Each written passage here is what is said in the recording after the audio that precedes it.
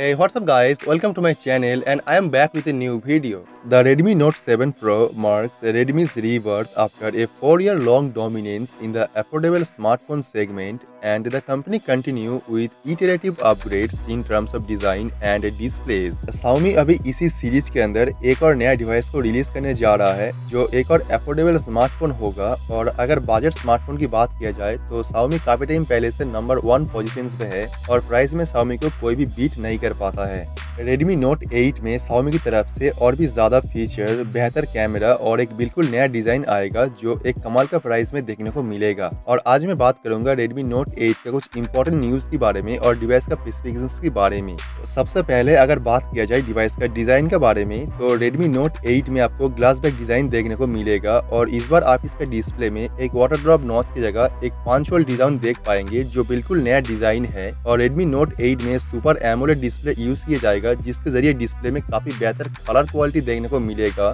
जो पहले से आपको काफ़ी बेहतर एक्सपीरियंस प्रोवाइड करेगा। Redmi Note 8 में 6.5 इंच का एक फुल एचडी प्लस डिस्प्ले देखने को मिलेगा, जो Redmi Note सीरीज़ में आज तक का सबसे बड़ा डिस्प्ले होगा with super AMOLED technology and according to a popular smartphone leakster Redmi Note 8 में आपको डुअल फ्रंट कैमरा देखने को मिल सकता है और इसमें एआई का फीचर देखने को मिलेगा, जो फ्रंट कैमरे को एक बेहतर फ़ोटो क्वालिटी प्रोवाइड करने में हेल्प करता है। और आज का डेट पे स्मार्टफ़ोन कैमरा बहुत ही इंपॉर्टेंट फीचर्स माना जाता है और कोई भी स्मार्टफ़ोन के लिए उसका कैमरा एक इम्पोर्टेंट रोल प्ले करता है। और Redmi Note 8 में आपको 52 मेगापिक्सल का ह्यूज कैमरा लेंस देखने को मिलेगा, लेकिन Redmi Note 8 में कोई भी ट्रिपल कैमरा सेटअप देखने को नहीं मिलेगा। और Xiaomi पहला स्मार्टफ़ोन ब्रांड है जो बजट स्मार्टफ़ोन में 48 मेगापिक्सल का कैमरा सेंसर इंप्लीमेंट किया था, और नोट 8 में आपको 52 मेगापिक्सल कैमरा का सेंसर देखने को मिलेगा, जो एक बेहतर क्वालिटी प्रोवाइड करेगा और 48 मेगापिक्सल से और भी बेहतर क्वालिटी फ़ोटो देखने को मिलेगा। आप अगर बात करते हो डिवाइस का प्रोसेसर के बारे में तो Redmi Note 8 में Qualcomm का लेटेस्ट प्रोसेसर देखने को मिलेगा और इसी साल में Qualcomm Snapdragon का 720 प्रोसेसर रिलीज़ करेगा